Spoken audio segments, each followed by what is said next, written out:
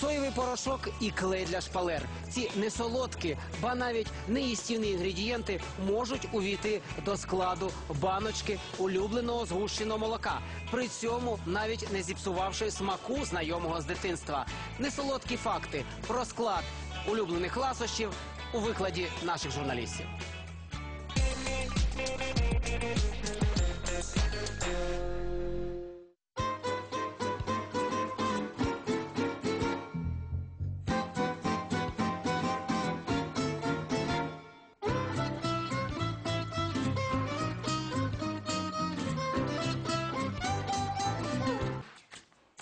спільного між клеєм для шпалер та згущеним молоком? Дуже багато. Он як тримаються. Думаєте, це жарти? А дарма. Дивіться далі, і вам буде зовсім не солодко. Вісім із десяти банок згущеного молока підробка. Така невтішна статистика, кажуть експерти. Пшеное молоко очень сладкое, само по себе за сладким вкусом очень легко что-то припрятать. Це щось має назву соя, пальмовий жир та увага карбоксиметилцелюлоза або КМЦ, яку в ролі згущувача тепер виявляється можна побачити не тільки в клеї для шпалер, а й в згущеному молоці. Саме ці загадкові компоненти і дають виробнику можливість зекономити. Просто зараз ми покажемо, як виготовити згущене молоко і використати для цього не пів літра молока, як цього вимагає рецептура, а лише 200 грамів. Отже, перший несолодкий інгредієнт, який потрапить до нашого згущеного фальсифікату, це соєве борошно. Соевая мука будет выполнять роль белкового компонента. Молочні продукти це перш за все джерело білка. А звідки йому взятися, якщо кількість молока мінімальна?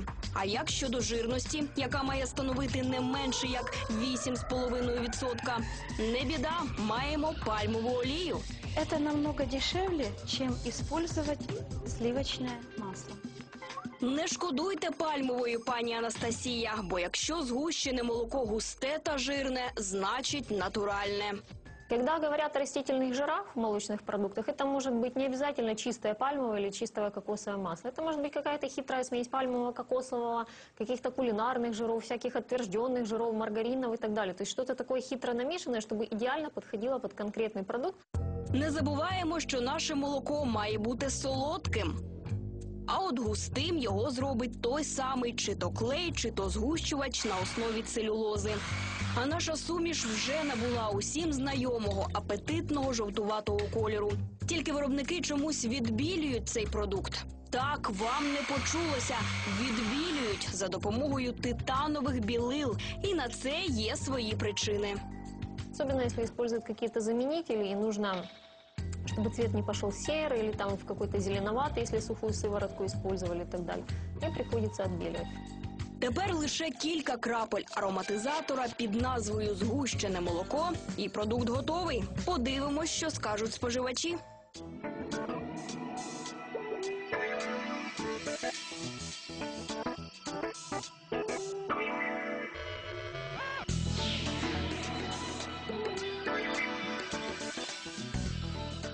Нічого, можна їсти. Вкусно. Вкусное, сладкое. Смачно. Сладкое, достаточно неприторное. Мне нравится. Неймовірно, жоден не помітив нічого дивного у смаку нашого продукту. От тільки щойно ми нагодували людей суцільною хімією. Чи не загрожує це їхньому здоров'ю? Експерти нас заспокоїли. Все эти компоненты являются безвредными, потому что все они есть пищевыми продуктами или же пищевыми добавками, которые разрешены для использования в пищевой технологии. Такий продукт не буде шкідливим, проте й користі не принесе, адже не матиме жодної харчової цінності.